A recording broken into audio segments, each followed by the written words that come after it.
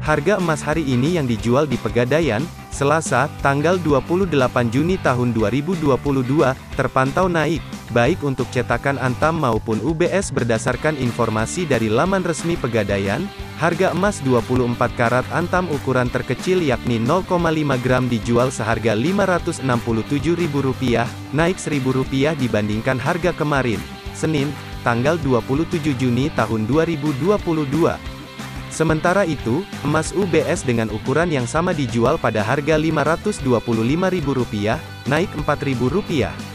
Untuk emas antam ukuran 1 gram, Pegadaian menjual seharga Rp1.029.000, naik Rp2.000 dari harga kemarin. Sementara itu, emas UBS dijual seharga Rp983.000, naik Rp7.000 dari sebelumnya.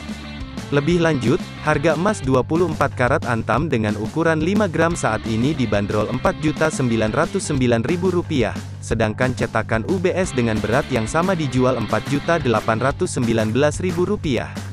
Sekian harga emas untuk tanggal 28 Juni tahun 2022. Untuk mendapatkan harga emas setiap hari, silakan subscribe ke channel ini. Sampai jumpa di video berikutnya.